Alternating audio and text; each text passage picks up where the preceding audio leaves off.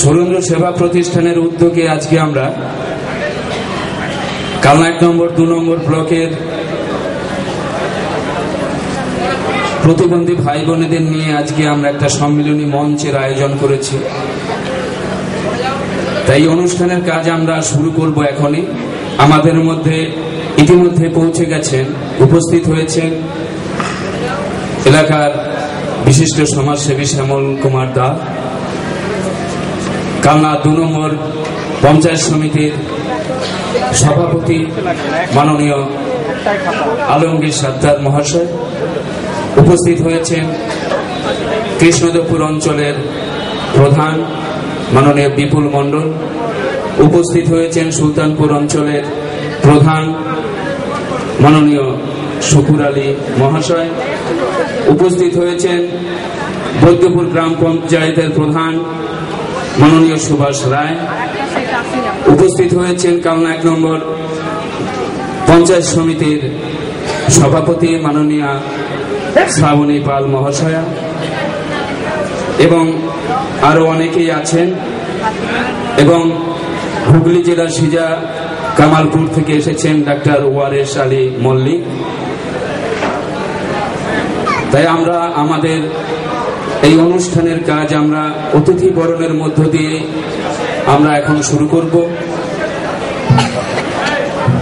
আমার হাত থেকে ঠিক আছে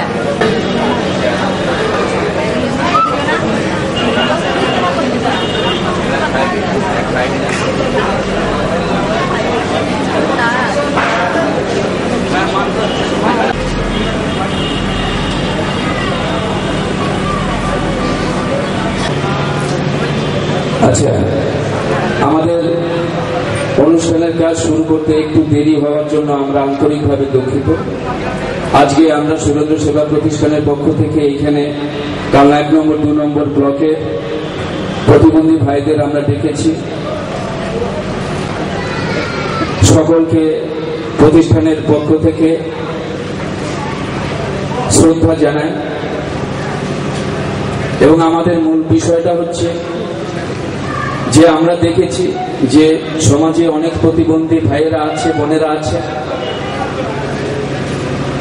তারা বিভিন্ন ভাবে তারা বঞ্চিত হচ্ছেন এবং হয়রানি হচ্ছেন। এই জিনিসগুলো আমরা উপলব্ধি করেছি যে একজন প্রতিবন্ধী ব্যক্তি, সে তার প্রাপ্য যে শংসাপত্র, সেই শংসাপত্র পাওয়ার ক্ষেত্রে এদের হয়রানি হতে হয়। এবং একটা সার্টিফিকেট পেতে তিন, চারবার করে সে বর্ধমানে ছুটে যেতে হয়। কিন্তু সেটা তার ক্ষেত্রে ভীষণ রকমের অসুবিধা। এবং স্টাইপেন্ড পাওয়ার ক্ষেত্রেও প্রতিবন্ধী তার প্রাপ্য। যে প্রতিবন্ধী পাওয়ার কথা সে কিন্তু পাচ্ছে না। এবং কোটা দেওয়া থাকে যে এই ব্লকে এত সংখ্যক, একটা সংখ্যা দেওয়া থাকে যে এর বেশি হচ্ছে স্টাইপেন্ড দেওয়া হবে না। এই ধরনের বিভিন্ন বিষয়গুলো নিয়ে আজকে আমরা একটা এখানে প্রতিবন্ধীর ভাইদের আমরা ডেকেছি যে যে সমস্যাগুলো রয়েছে, সেই সমস্যাগুলো এক জায়গায় জড়ো করে আমরা হচ্ছে এদের যাতে ভবিষ্যতে কোনো রকমের অসুবিধা না হয়, একটা দাবি সনদ আমরা পৌঁছে দিতে চাই। যারা হচ্ছে যেখানে এই দাবিগুলো আমরা নিয়ে যাব যেখানে হচ্ছে এই দাবিগুলো হচ্ছে তারা মেনে নেবেন এদের প্রতিবন্ধী ভাইদের যাতে কোনো অসুবিধা না হয়, সেই দাবিগুলো তারা মেনে নেবেন আমাদের হচ্ছে এই কাজ।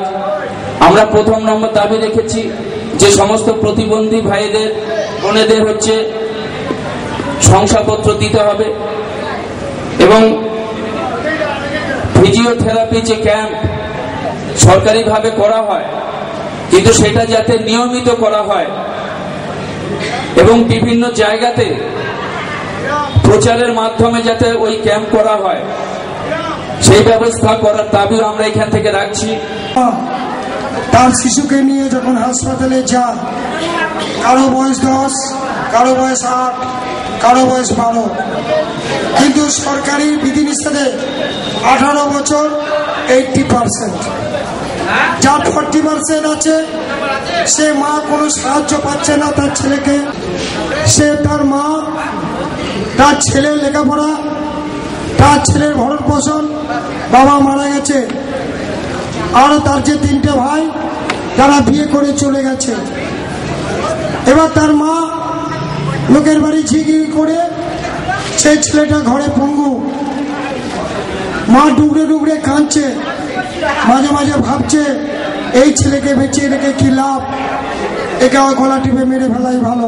গুলো গ্রহণ করা হয়, যেভাবে দেওয়া হয়, প্রতিবন্ধী সার্টিফিকেট বা অন্যান্য যে সুযোগ সুবিধাগুলো দেওয়ার কথা, সেগুলো আমাদের তরফ থেকে দেওয়ার জন্য যেটুকু কাগজপত্র বা যে যে বিষয়গুলো দেখে নেওয়ার কথা, সেগুলো দেখেই আমরা করি। অনেক সময় মনে হয় যে সরকারি অফিসার হয়তো হ্যারাসমেন্ট করার জন্য বা আমাদেরকে ফিরিয়ে দেওয়ার জন্য প্রতিবন্ধী ভাই বোনেদের তাদের সময় বারবার তাদের একই দিনে, হয়তো দেখা গেল আজকে নয় পরের সপ্তাহে আসুন, তারপরের সপ্তাহে আসুন, এরকম বলছে। বিষয়টা তা নয়। বিষয়টা হচ্ছে যেহেতু একটা সরকারি নিয়ম কানুনের মধ্যে থেকে আমাদের কাজ করতে হয়, তাই কিছু কিছু জিনিস আমাদেরও দেখে নিতে হয়। সেই দেখে নিতে গেলে যে যে জিনিসগুলো হয়তো আপনি কোনো একটা নিয়ে আসেননি সেই জন্য আমরা হয়তো কোনো কোনো কোনো সময় বলে, বলতে হয় আমাদের যে, তাহলে আপনি এগুলো নিয়ে পরের বার আসুন, আপনারা পেয়ে যাবেন। অনেকটাই সমস্যার সমাধান হবে বলে আমার মনে হয়। আমাদের এলাকার বা বদ্যপুর পঞ্চায়েত প্রধানের নামে যখন চিঠিটা যায়, এই ধরনের সম্মেলন আমাদের ওই এলাকায় হয়নি কোনোদিন।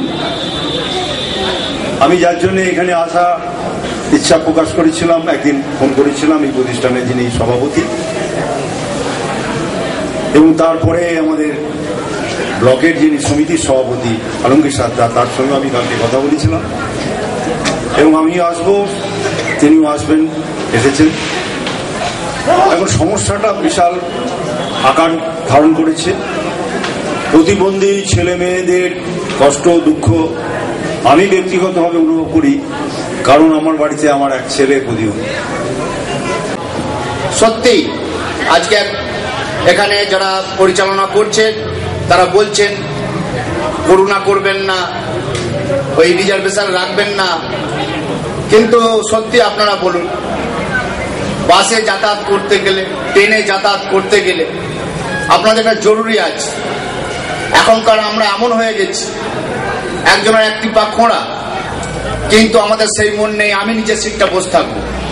কিন্তু অপরকে ছাড়ার মানসিকতা অনেকে কমে যাচ্ছে, আমাদের বিশেষ বলেছিলাম যে একে কিছু করা যায় নাকি, কিন্তু দুঃখের বিষয় সেখানে, সেখানেও একটি কোটা ফাঁকা নেই, কিন্তু আমরা চেষ্টা করছি সেই জায়গা থেকে কোঠা যাতে বাড়িয়ে আমরা কিছু চালাতে পারি। আপনি কাঁদবেন না, দেখুন আতে পারি। আপনারা এরকম করবেন না, কারণ আমার নিজেরই খুব খারাপ লাগছে, এই জায়গায় বক্তব্য রাখার জায়গা এটা নয় বক্তব্য রাখতে গেলে মানে বক্তব্য কি বলব, সেটাই কোনো ভাষা আসে না। শুধু এটাই বলব, এই প্রতিষ্ঠানটি একটু উদ্যোগ নিয়েছে, ভালো উদ্যোগ নিয়েছে। আমরা চেষ্টা করব, পঞ্চায়েত পঞ্চায়েত সমিতি এবং জেলা পরিষদ আছে। জেলা পরিষদ থেকে আজকে যদি আমাদের দেবতা থাকতেন, তাহলে তার কাছে আমরা বলে যদি কিছু ব্যবস্থা করতে পারি অন্ততপক্ষে কালনার বিধানসভার বিধায়ক একটা প্রচেষ্টা করেন, আমরা গর্বিত হব। আর আপনাদের উদ্দেশ্যে একটা কথা, যে আপনারা যে করছেন, এই প্রচেষ্টাটা ভালো। জেনে রাখবেন বাধা ছাড়া কোনোদিন কোনো কাজ হয়নি। রামমোহন রায় থেকে শুরু করে, বিদ্যাসাগর থেকে শুরু করে ইভেন ধর্মীয় নেতাদের দেখবেন, ওই কংসকে বধ করতে গিয়েও শ্রীকৃষ্ণকে কত রকম কৌশল নিতে হয়েছিল। ঠিক খ্রিস্টানদের ওই যীশু খ্রিস্টকে তাকে ক্রুশবিদ্ধ হতে হয়েছিল। কেন হয়েছিল? হজরত মোহাম্মদকেও তো দাঁড়িয়ে দাঁড়িয়ে বেড়াতে হয়েছিল। কেন হয়েছিল? একটা শুভ কাজ করতে গেলে প্রথমে সেটা বুঝতে পারে না। তখন তারাই তাকে বাধা দেয়। পরবর্তীকালে তারাই তারা স্বীকার করে। কাজে ভেঙে পড়বেন না। আপনাদের সঙ্গে আমি সহবাসী। আমি এখানে আসার একটা মাত্র কারণ আছে। এই বক্তব্য দিয়ে হাততালি করবার জন্য নয়। যদি কোনো কংক্রিট কিছু করতে পারি, সেটা আমার সত্য কথা আমি মনে করছেন ফিজিক্যালি হ্যান্ডিক্যাপ কিনেছেন তারা হীনমন্যতায় না ভুগে তারা ফিজিক্যালি চ্যালেঞ্জড হিসেবে নিজেদেরকে প্রতীয়মান করুন। কারণ মানে চ্যালেঞ্জের সম্মুখীন হলেই মানুষ কিন্তু তার যে আসল সত্তা খুঁজে পায়, বিভিন্ন যে বুঝে নিন। বুঝে নিন এইভাবে যে যাতে ভবিষ্যতে তার অনুপস্থিতিতে যে ফিজিক্যালি চ্যালেঞ্জ শিশু হিসেবে গ্রামের দিকে বিডিও অফিস। তা যাই হোক, আমাদের যে এখানকার দাবি, এই প্রতিবন্ধীদের ক্ষেত্রে আশি পার্সেন্ট থেকে কমিয়ে এটা নিয়ে আসা যায়, সেরকম ধরনের প্রস্তাব আমরা রাখব, এক নম্বর। দু নম্বর হচ্ছে যে আঠেরো বছর বয়স যেটা বলছে, আঠেরো বছর থেকে আরও যাতে নিচে নামানো যায় সেটার কথা বলব। আর একটা জিনিস হচ্ছে বিপিএল তালিকা যেটা আমাদের মামাটি মানুষের সরকার যখন পশ্চিমবঙ্গে ক্ষমতায় এলো দু হাজার এগারো সালে, সেই সময় আমরা বলে এসেছিলাম যে বিপিএল তালিকা ভুলে ভরা। শাসক দল, বিরোধী দল সবাই কিন্তু এক বাক্যে বলেছিল সাতটাকে অবজেকশন দেওয়ার